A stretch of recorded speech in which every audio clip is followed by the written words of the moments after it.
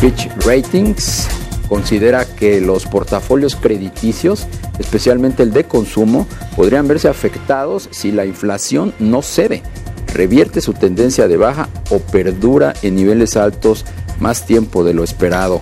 La calificadora señaló que las carteras más sensibles a la inflación son las relacionadas con los créditos personales y de tarjetas de crédito.